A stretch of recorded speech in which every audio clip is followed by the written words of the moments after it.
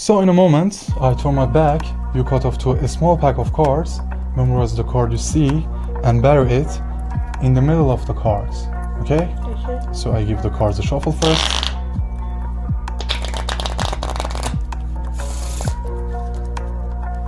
I turn my back, just cut to a card, and memorize the card and show it to the camera, and bury it in the middle of the cards.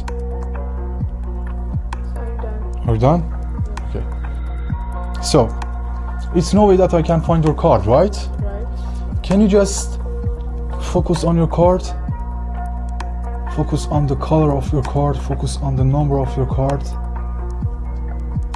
I feel something. I feel something good here. Okay. Be honest with me. For the first time, what card you thinking of? Nine of diamonds. You sure? Let's take a look.